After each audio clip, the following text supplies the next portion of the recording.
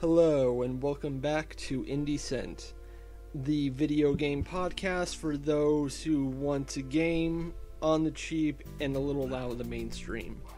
Congratulations, everyone! We finally have a tagline. Hey! Bit long. Will you will you come up with something?